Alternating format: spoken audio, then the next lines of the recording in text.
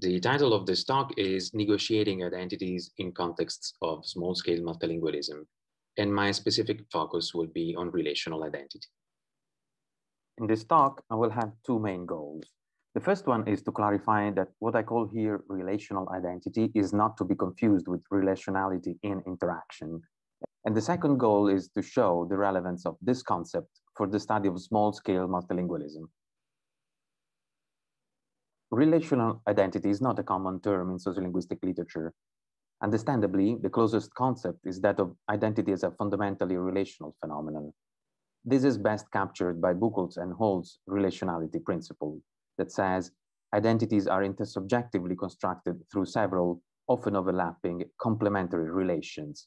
And also identity in interaction as a fundamentally relational phenomenon is also at the heart of influential theories such as audience referee design, accommodation theories, and in general, research focusing on style. However, these are not what I mean by relational identity. And in order to make clear why relational identity is not captured by the concept of relationality, I must introduce a distinction between identity targets on the one hand and relational effects on the other. Let me try to clarify what I mean through an example.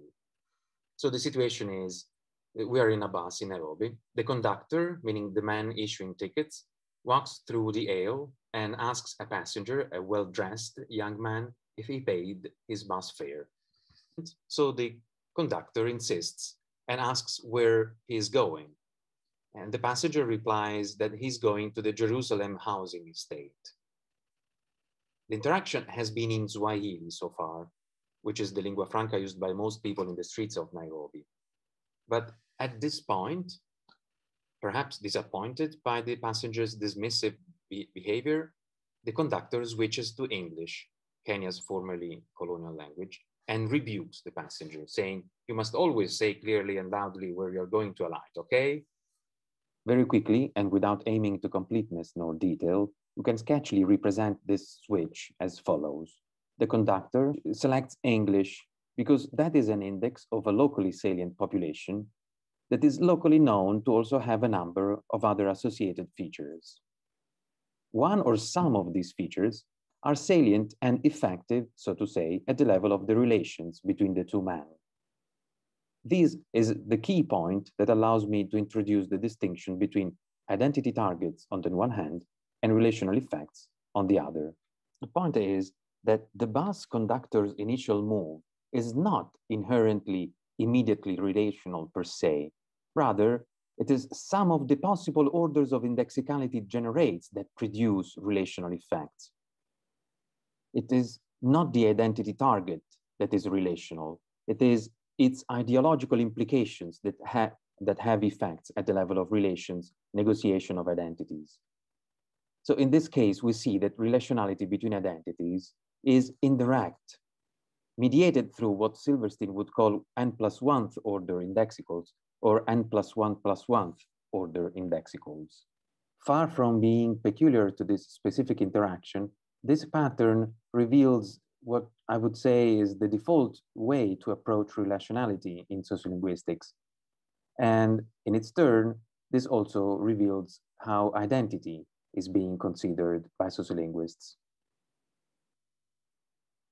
Age, ethnicity, gender, sexual orientation, social class, university affiliation, professional occupation, geographic region, institutional affiliation, social status, I mean, these and a few others are the features that are normally discussed by sociolinguists and linguist anthropologists when they deal with identity representations. Underpinning all this is the assumption that for a person to have an identity is to be cast into a category with associated characteristics or features, as Antaki and put it. There are endless examples confirming that in sociolinguistic literature, identity has been considered to be coterminous with what sociologists call categorical identification. However, as I'll try to show in a second, this is not the whole story about what types of identity can be represented by interactants, by people, by speakers. Sociological literature is helpful to understand what I mean here. In an influential and very important article entitled Beyond Identity, Brubaker and Cooper, two sociologists, help us name the two basic types of identity making processes that are available to us humans. On the one hand, as we've just seen, there is categorical identification, that is a way of understanding oneself and others that is based on membership in a class of persons who share one or more categorical attributes like age, gender, and all the other features that we have seen. On the other hand, there is relational identification, which obtains when one identifies oneself or another person by position in a concrete web of interpersonal named relations, like parent-children, senior brother, junior brother, teacher-pupil, or co-worker-co-worker. I summarize the main difference between the two ways of self and other identification in this table. Let's now try to sum up with some takeaway points. First of all, categorical targets have relational effects at some point of their indexical steps, uh, that is indexical orders. So they produce mediated or indirect relationality. Relational targets on their, uh, on their turn have immediate inherent relational effects. So they produce direct relationality. So describing the first two points above is possible only if one differentiates identity targets from relational effects. So my claim is that this is an improvement for the analysis of the production of social indexical meaning in interaction, as it allows to both accommodate different processes of identity construction, that is categorical versus relational identification, and at the same time accommodate the different types of relationality in interaction that these two distinct processes engender, that is indirect versus direct relationality. One could wonder, okay, good, but is this really necessary? I mean, sociolinguistics seems to have worked just fine without this further complication. So why introducing it in the first place? Let me try to quickly, to quickly tell you why it's needed. In state-based urban societies of strangers, the understanding of self and others through categorical identification has progressively become more prominent at the expense of processes of relational identification, as several sociologists have identified.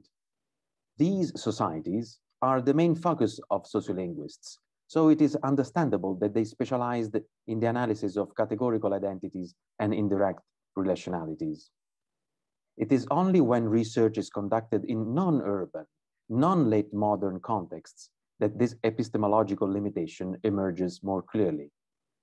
It is when labels such as solidarity or intimacy would seem to account for the majority of people's choices in interaction that one realizes that the labels themselves are not analytically adequate.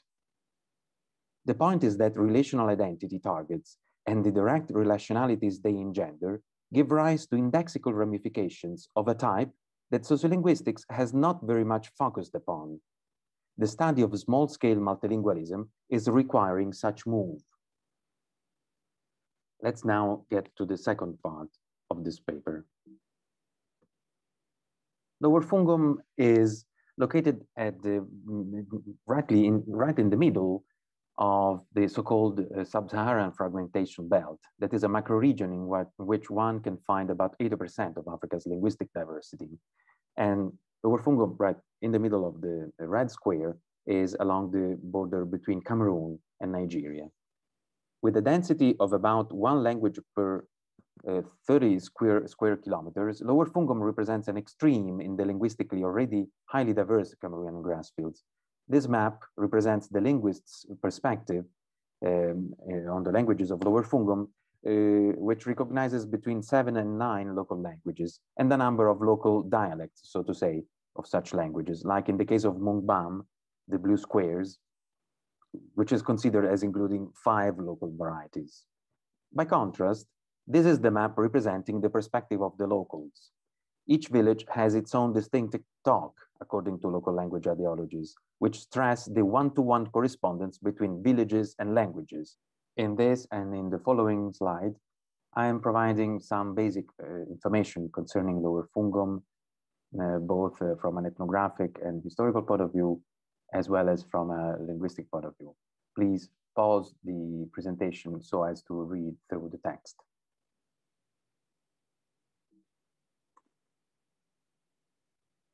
I hope you were able to download the handout where I included the two examples I would like to discuss. In fact, I'll discuss only example two in somewhat more detail, but I wanted to also add example one just to make you see that this is a common pattern, not just something very strange. Example one and two depict very similar situations because in both cases, the two main participants are men of different age. They can potentially communicate without problems in no less than three local languages plus Cameroon Pidgin English. The younger man, following the, lo the local etiquette, accommodates the older man by starting the interaction in the latter's primary language. And accidentally, this is Boo in both examples. At some point in the interaction, the older man makes some inquisitive remarks, example one, or strongly asserts his seniority, as in example two, on the younger man, and this is highlighted in yellow in, the, in both examples. The younger man reacts by switching to another language, and this is uh, highlighted in red, and the older man is offended and their interaction comes to an end.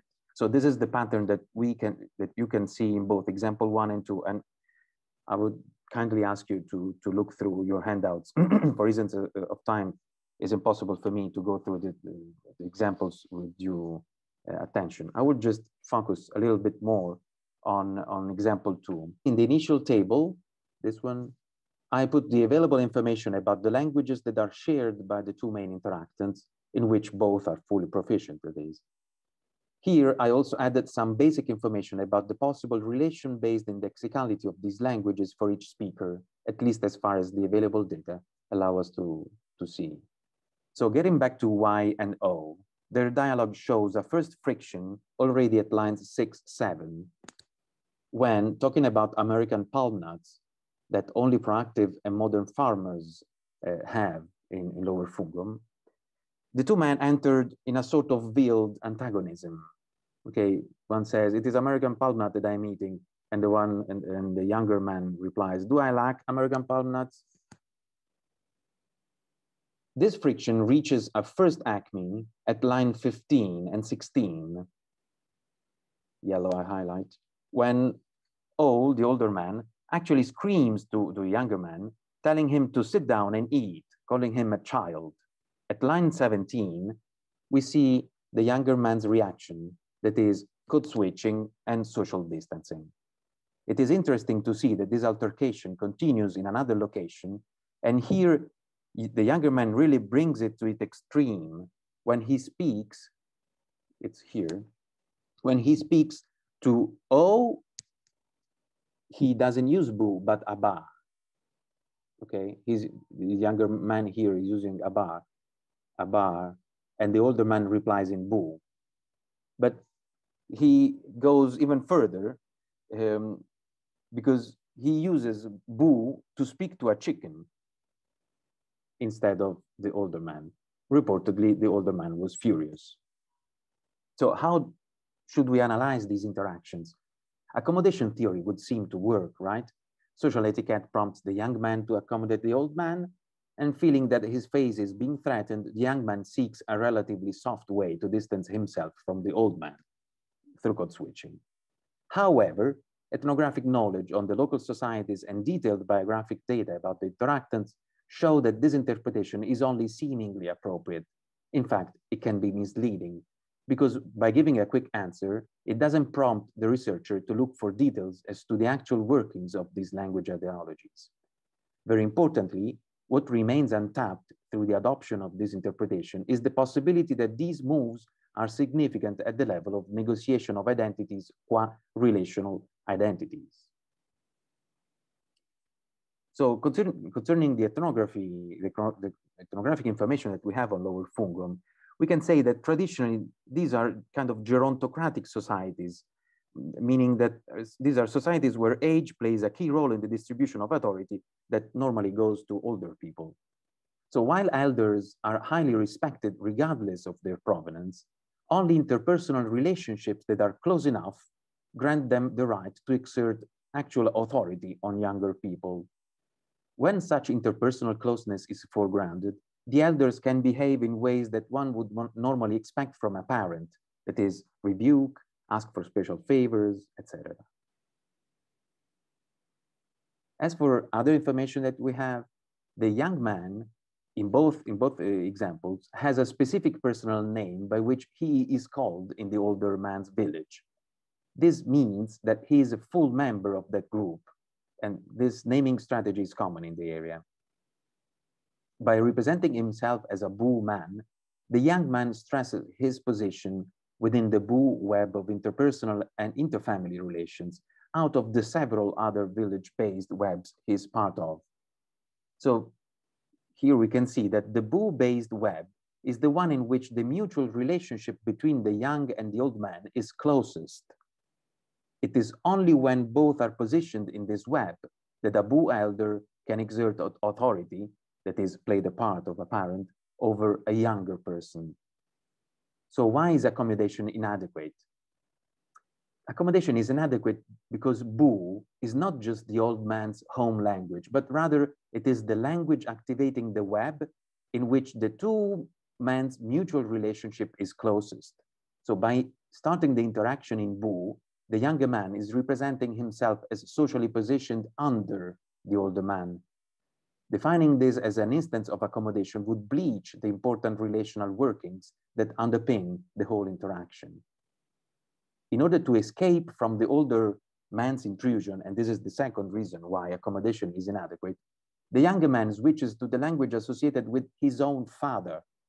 We can view this move as a way to position himself as son of another man therefore subtracting himself from the authority of the Boo old man. This is much more than just social distancing through divergence. So if we uh, wanted to give a graphic representation of the interaction, we can do this. So the two men have three local codes available, Abar, Boo, and Mundabli. This is especially in example two. In example one, they have different languages, but same pattern. They have multiple languages in which they're both fully proficient. The younger man selects Boo, which is the older man's home language and the one that this foregrounds the closest relationship among the two men, the one in which the seniority of the older man becomes especially salient. He can behave as if he were the father of the younger man. The younger man gets angry and switches to another local code, one in which the relationship with the older man is not too close. In fact, however, by foregrounding the, his Abar identity, the younger man is also representing him as being son of another man. It's like he's saying to the older man, you're not my father. I respect the paternal authority of another man, not yours. So, and in example two, we, we also see a very creative way to deploy the local language ideologies as the younger man, in order to further stress his anger and disrespect for the older man, speaks in Boo with a chicken and in Abar with the older man. So implying that he recognizes the, recognizes the chicken to be closer to him than the older man is. This has the effect of symbolically, symbolically breaking the relationship between the two men. Let's try to quickly compare this process with what we saw in the Nairobi bus example. So in the Nairobi bus example, we saw that relationality was mediated through one or more of the features associated with the locally salient population speakers of English, so obtaining what I called indirect relationality. Can we consider example two to follow the same indexical logic? No, this is not what happens in example two. For, for one thing, there are no known categorical features associated with being a boo man, simply because being a boo man is not a social category. It is a relational identity target. So it indexes a concrete network of people and as such directly embodies interpersonal relationships that are implied by the position that the speaker occupies within that network. And this results in direct, in direct relationality. Are there no orders of indexicality involved here? Just very quickly, there are, but they are of very different nature as compared to the indexical orders that we are most accustomed to, because this may be ties with individual or family specific information, gossips, past problems, and let's say relationship-based intertextuality. Conclusions. Very quickly, some conclusions. The phenomena I briefly illustrated can be fully analyzed only if one deconstructs the universality of categorical identification it's to be noted that considering the concept of identity as coterminous with categorical identity, as influential models seem to imply, like in Irvine and Gal's 2000 and Bucholtz and Hall, is a form of ethnocentrism. If this is done, if the universality of, of categorical identification is, de is deconstructed, a twofold gap in sociolinguistic scholarship becomes evident. How much work has been done on language in society, in societies that are not urban nor let modern, but nonetheless have been super diverse for centuries? How many times concepts such as solidarity or intimacy have been used to label and leave unexplained what I claim would be best considered direct relationalities? The indexicalities of relational identity targets are still largely unexplored. This, to me, is the main opportunity and challenge offered by the study of small-scale multilingualism. Before it's too late, however, because contexts of small-scale multilingualism are endangered ecologies. Thank you for your attention.